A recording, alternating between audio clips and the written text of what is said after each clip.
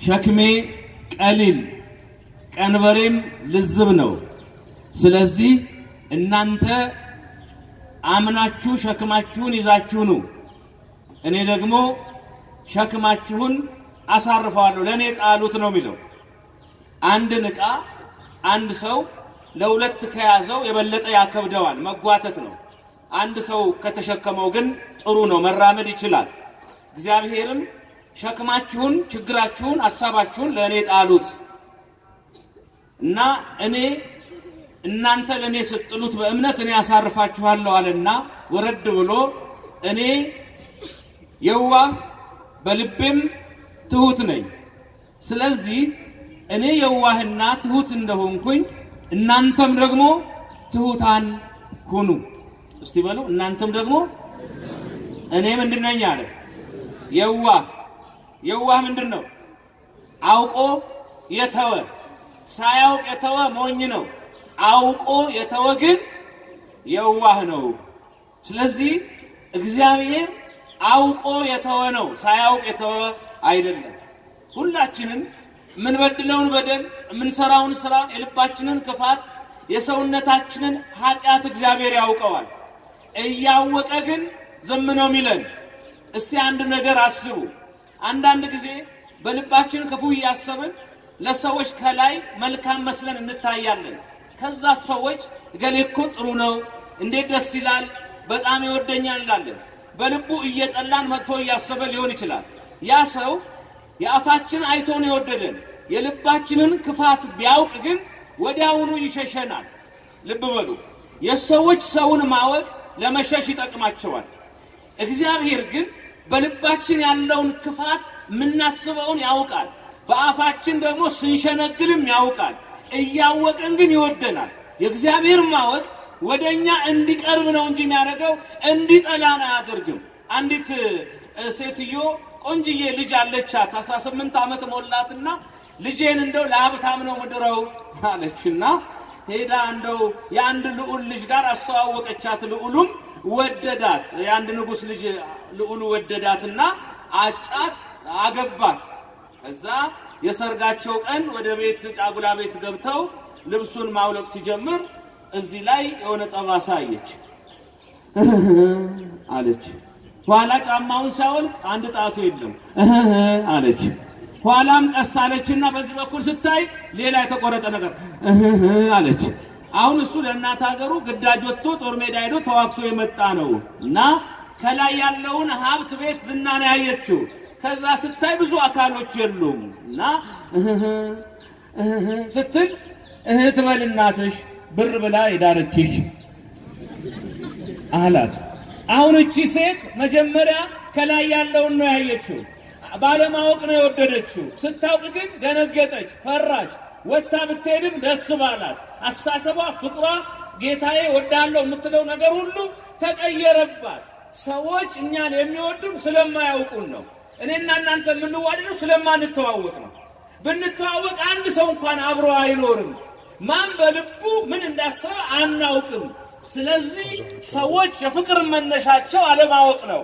የእግዚአብሔር የፍቅር መነሻ ደግሞ የሰው ልጆችን ማወቅ ነው። አንዷ መጣች ሊያገባት ሲል እድሜን አውቀዋል። አርባ ሁለት ዓመቴ ነው። መልኬን እንደምታየው ነው። ሙያ ደግሞ ሽንኩርትና ቢላ አገናኝቼ አላውቅም። አውቀዋለሁ አላት። እያወቁ የገቡበት ነገር ጥሩ ነው።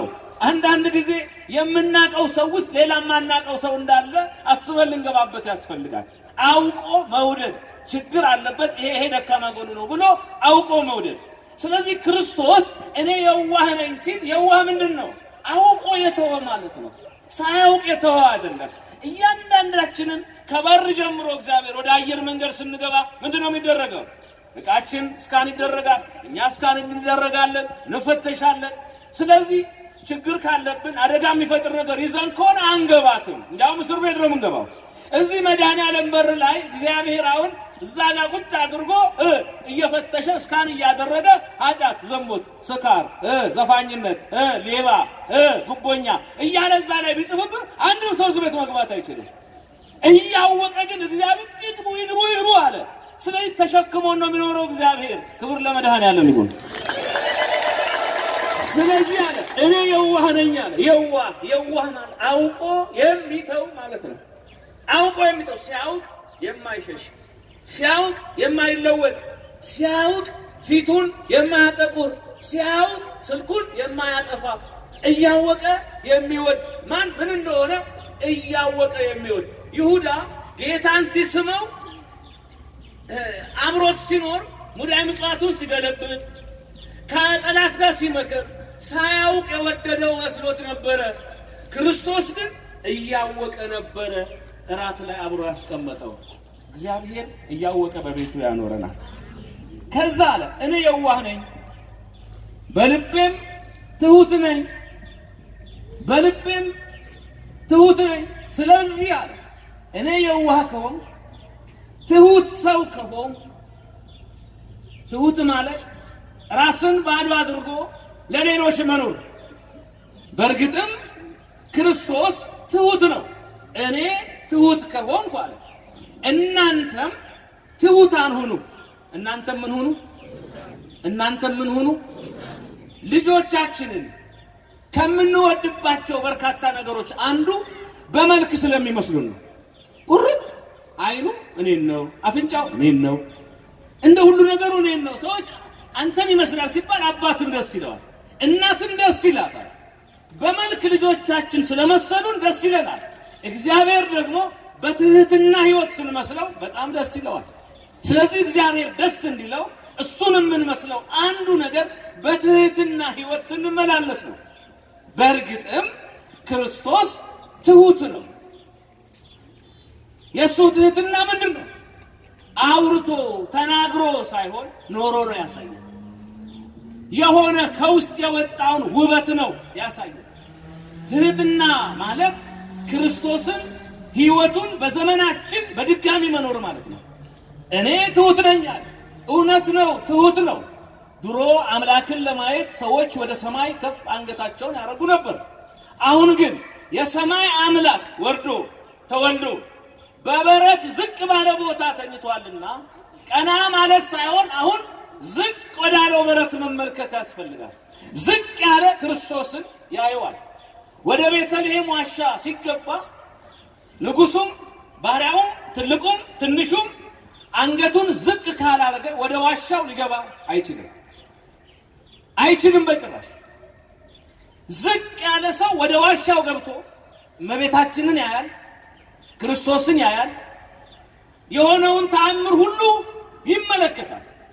ማንም ሰው ሰርጉ ላይ ወይም ድግሱ ላይ ሰው ሲጠራ የሀብታሞች ለብቻ የድሆች ድንኳን ለብቻ ነው። ድንኳን እንኳ ባይነቀል ሰዓቱ ግን ይለያያል።